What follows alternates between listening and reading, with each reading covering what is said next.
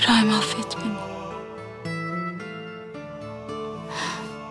Çok utanıyorum. Hürrem av köşküne o kadını görmeye gittiğini söyleyince... ...dünya alt üst oldu.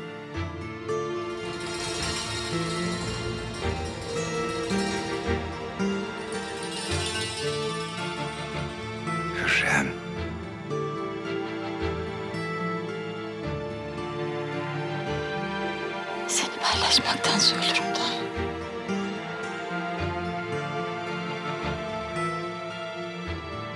Dünyada sizden başka bir kadın yaşamıyor benim için. Lakin bu bahsi kapatalım.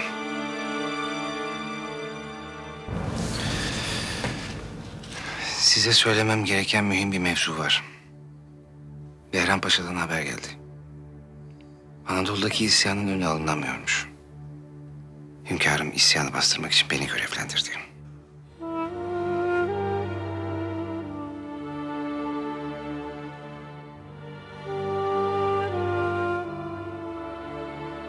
Hani Ayaz Paşa gidecekti.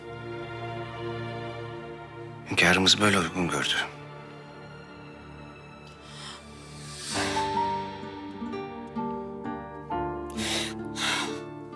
Bunu bana nasıl yapar?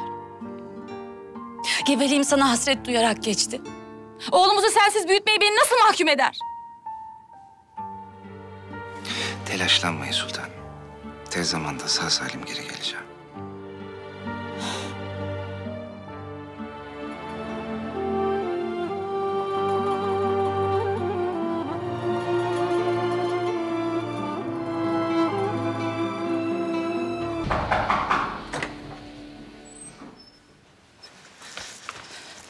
Validem, Hatice'm.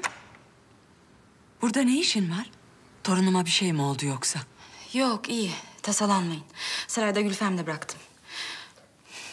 Hünkârımızın İbrahim Paşa'yı Anadolu'ya sefere göndereceğinden haberdar mısınız validem? Hayır, şimdi duyuyorum. İbrahim'den ayrılmaya dayanamam.